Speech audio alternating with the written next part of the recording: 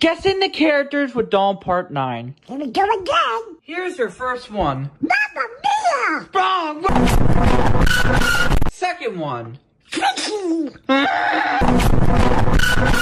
Alright, this is your third one. He's a bitch!